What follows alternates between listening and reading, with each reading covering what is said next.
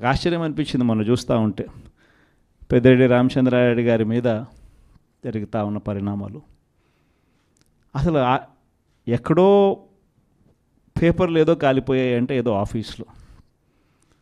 అధికారంలోకి వచ్చిన తర్వాత రెండు నెలల తర్వాత ఏదైనా ఆఫీస్లో పేపర్లు కాలిపోతే లేకపోతే ఏదైనా కారణం చేత ఆ పేపర్లు కాలిపోతే ఆ పేపర్లో కాలిపోయిన దానికి రామచంద్రారెడ్డికి ఏం సంబంధం?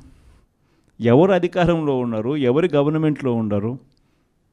అందులో ఒక చోట పేపర్లు కాలిపోతే కింద ఆఫీసులలో పేపర్లు దొరుకుతాయి పైన కలెక్టర్ల ఆఫీసులలోనూ పేపర్లు దొరుకుతాయి ఆర్డీఓ ఆఫీసులలో పేపర్లు ఒకవేళ కాలిపోతాయి ఎంఆర్ఓ ఆఫీసులలో పేపర్లు దొరుకుతాయి.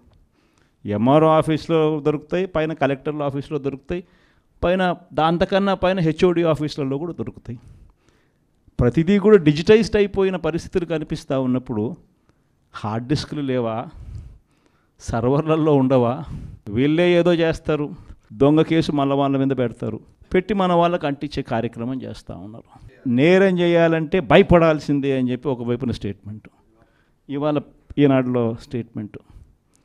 నిన్న సాక్షిలో హెడ్లైన్స్ తాడిపత్రిలో ఎమ్మెల్యే కంటెస్ట్ చేసిన ఎమ్మెల్యే పెద్దారెడ్డి తాడిపత్రి నియోజకవర్గంలోకి అడుగు పెట్టాలి అని అంటే అడుగు పెట్టడానికి వెళ్ళినప్పుడు ఏకంగా అడుగు పెట్టాడు అని చెప్పి ఇంటి మీద దాడి ఇంటికి వచ్చిన కార్యకర్తలు మురళి అనే వాళ్ళ మీద దాడి రాళ్ళు ఒకవైపున. ఈయన స్టేట్మెంట్ ఈరోజు నేరం చేయాలంటే భయపడాల. మరి ఒకవైపున కాంట్రడిక్షన్. ఒకవైపున భయాందోళన ఆయన క్రియేట్ చేస్తూ ఉన్నాడు. మరోవైపున స్టేట్మెంట్లు ఆపోజిట్ సైడ్ ఆపోజిట్గా ప్రజలను మభ్యపెట్టే స్టేట్మెంట్ను మళ్ళీ ఈనాడు క్యారీ చేస్తుంది. అంటే పద్ధతి ప్రకారం భయాందోళన క్రియేట్ చేయడం పద్ధతి ప్రకారం ఈనాడు ఆంధ్రజ్యోతి టీవీ ఫైవ్ చంద్రబాబు నాయుడు వీళ్ళంతా కలిసి మళ్ళీ ఏమి జరగనట్టుగా మళ్ళీ వీళ్ళు రివర్స్ కథనాలు మళ్ళీ రాయించడం. ఇవి జరుగుతూ ఉన్నాయి. ఇలాంటి పరిస్థితుల్లో నిజంగా ప్రతి కార్యకర్తకు కూడా ప్రతి నియోజకవర్గంలో కూడా ఈరోజు మీ అవసరం చాలా ఉంది. ఎందుకనంటే కోట్ల దృష్టికి న్యాయస్థానాల దృష్టికైనా కూడా ఏదైనా మనం తీసుకొని పోవాలి అని అంటే ఇనిషియేటింగ్ ఎక్కడో ఒకసారి జరగాలి. కాబట్టి మీ అందరితో కూడా నేను ఒకటి చెప్తా ఉన్నా. మీరు చేయబోయే పాత్ర చాలా అవసరం. అందరం ఒక తాటి మీదకి వద్దాం. ఒక తాటి మీదకి వచ్చి అందరం గట్టిగా యుద్ధం చేస్తేనే ఈ తెలుగుదేశం పార్టీ చేస్తూ ఉన్న అన్యాయాలను ఎత్తి చూపగలుగుతాం. వీళ్ళు చేస్తూ ఉన్న ప్రజల ప్రజా వ్యతిరేక పాలనను మనం ప్రజల్లోకి గట్టిగా తీసుకుని పోగలుగుతాం. ప్రతి నియోజకవర్గంలోనూ కూడా మనం మన కార్యకర్తలకు అండగా ఉండే కార్యక్రమం జరగాలి. సో డిస్ట్రిక్ట్ లీగల్ సెల్స్ అనేటివి స్ట్రాంగ్ కావాలి. డిస్ట్రిక్ట్ లీగల్ సెల్స్ అనేటివి స్ట్రెంగ్తన్ కావాలి. స్ట్రెంగ్తన్ అయితేనే మనం మన ప్రతి కార్యకర్తకు అండగా నిలబడగలుగుతాం. జిల్లాను ఒక యూనిట్గా తీసుకుని ఆ జిల్లాలో లీగల్ సెల్ ఎలా ఉంది? ప్రతి కార్యకర్తకు ప్రతి నియోజకవర్గంలోనూ ఈ లీగల్ సెల్ అందుబాటులో ఉండడము ఒక ఆస్పెక్టు. రెండో ఆస్పెక్టు తోడుగా ఉండడము. ఈ రెండు జరుగుతున్నాయా లేదా అన్న వాటి మీద ధ్యాస పెట్టాలి. లాయర్ల డెవలప్మెంట్కి సంబంధించి వెల్ఫేర్కి సంబంధించి ఎప్పుడు జరగని విధంగా వైఎస్ఆర్సీపీ ప్రభుత్వంలో మాత్రమే పట్టించుకున్నాం. మనం వచ్చిన తర్వాతనే మొట్టమొదటిసారిగా వంద కోట్ల రూపాయలతో వంద కోట్ల రూపాయలతో కార్పస్ ఫండ్ ఏర్పాటు చేసింది ఒక వైఎస్ఆర్సీపీ ప్రభుత్వం వచ్చిన తర్వాతనే. అంతకుముందు అంతకుముందు ఎవరూ కూడా లాయర్ల గురించి మాట్లాడారే తప్ప లాయర్ల వెల్ఫేర్ గురించి పట్టించుకున్న పార్టీ ఇంతకుముందు గతంలో ఏదీ లేదు. ఒక్క వైఎస్ఆర్ కాంగ్రెస్ పార్టీ మాత్రమే పట్టించుకుంది. వంద కోట్ల కార్పస్ ఫండ్ క్రియేట్ చేశాం.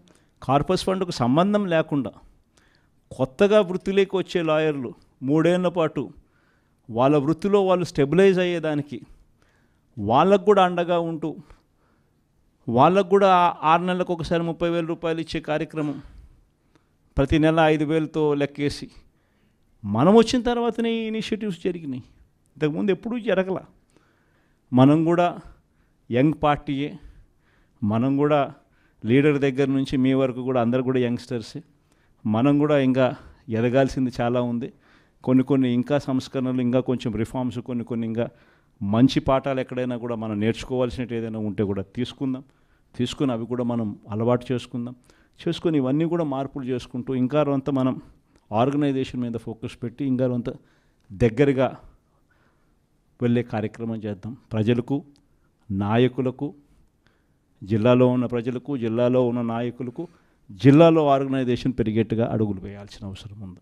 అలాగే మరి పెద్దారెడ్డి గారు తాటిపత్రి ఎక్స్ఎమ్మెల్యే గారు వారిని ఎక్స్ఎమ్మెల్యే నియోజకవర్గానికి కూడా రానివ్వటం లేదు. ఇదేం రాజ్యాంగం అని చెప్పి మాజీ ముఖ్యమంత్రి వర్యులు చాలా అతిగా చింతించారు. మరి ఆ మాజీ ముఖ్యమంత్రి వర్యులు కూడా మరపు అనేది మనిషికి దేవుడు ఇచ్చిన గొప్ప వరం అని ఆత్రేయ గారు ఎప్పుడో చెప్పారు. కానీ మరి ఇంత మతి మరప? దేవుడు ఎంత గొప్ప వరం ఇచ్చాడు? జగన్మోహన్ రెడ్డి గారు మీకు? నన్ను?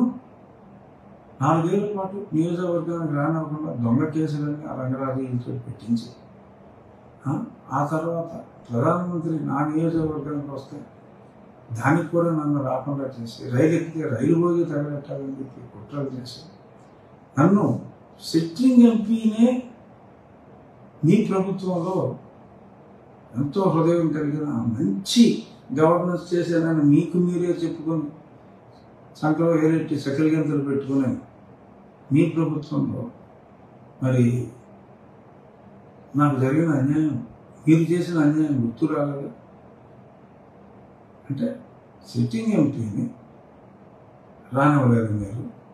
ఒక ఎక్స్ ఎమ్మెల్యేని మీ మన లోపల ఏం కక్షలు ఉన్నాయి?